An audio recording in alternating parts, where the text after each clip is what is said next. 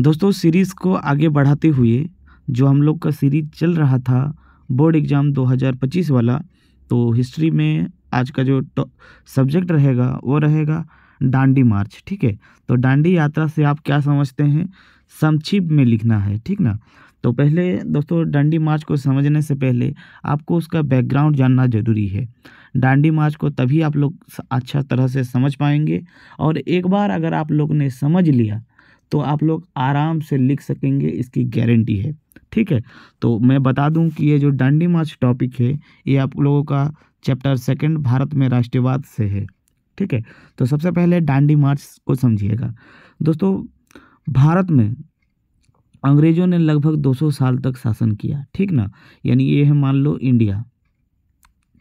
India में 200 साल तक अंग्रेज़ों ने शासन किया और इस दौरान अंग्रेज़ों ने बहुत तरह का हम लोगों से टैक्स लिया, ठीक ना?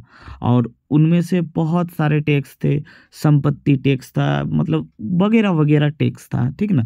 और इसी प्रकार का एक टैक्स था, नमक का टैक्स। यानी आप अगर जो नमक अभी खाते हैं ना तो उसके लिए भी ब्रिटिश सरकार भारतीयों से टैक्स लेता था, ठीक ना? तो ये जो टैक्स था ये साधारण जनता मतलब दे नहीं पाता था। यानी जो साधारण थे, उन जिनके पास पैसा नहीं था वो लोग नमक भी नहीं खा पाते थे।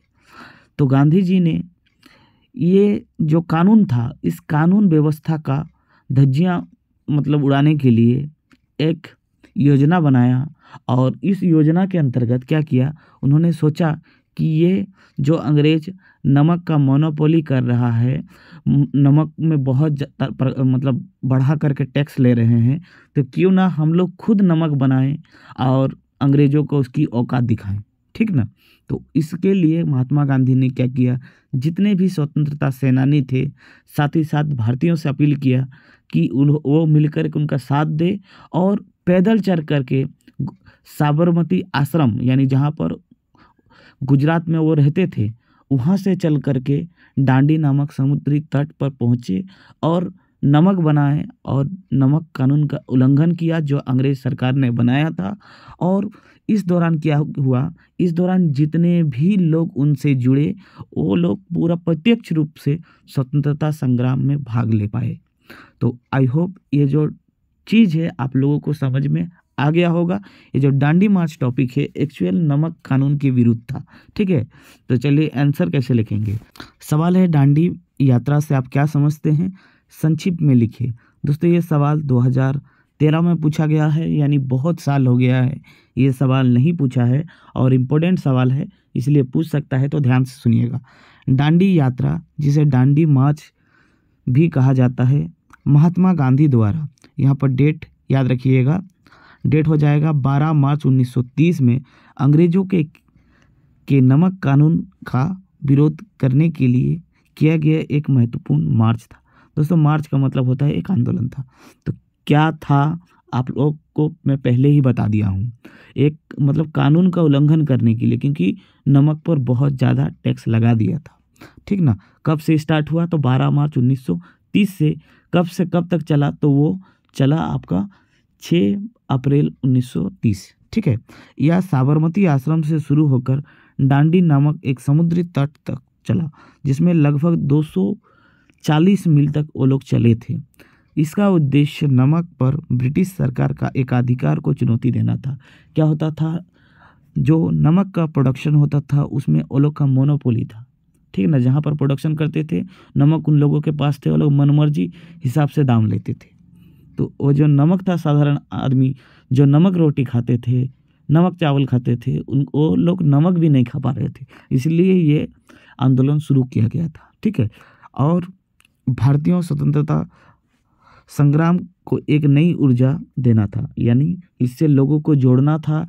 दोस्तों, नमक क्या होता है? नमक एक्चुअल आंदोलन करने का मेन उद्देश्य था कि महात्मा गांधी को बताना था कि हम लोग का जो बेसिक से बेसिक चीज़ है, जो नमक है साधारण से साधारण चीज़। उसके लिए हम लोग एक हो सकते हैं तो अपने देश के लिए क्यों नहीं एक हो सकते हैं? इसी उद्देश्य से उन लोगों ने स्टार्ट किया था, जिसमें बहुत बढ़ चढ़ के लोगों ने भाग लिया, और बहुत लोगों ने भाग तो नहीं ले पाया, लेकिन उनका समर्थन किया।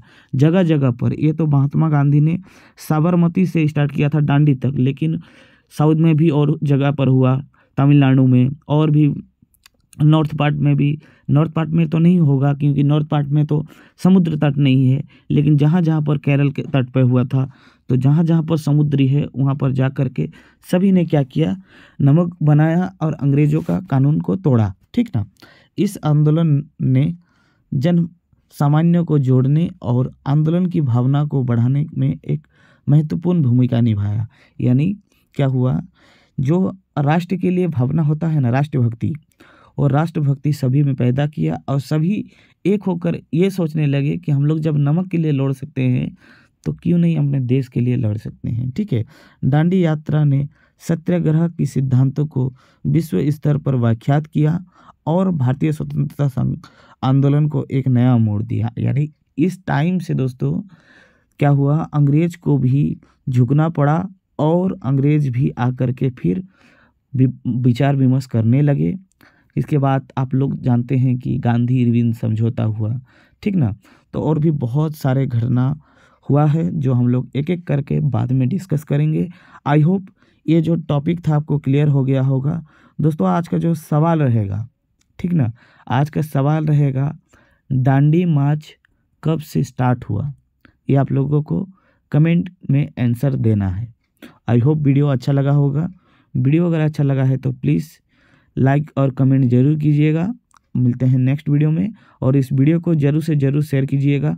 तब तक के लिए जय हिंद।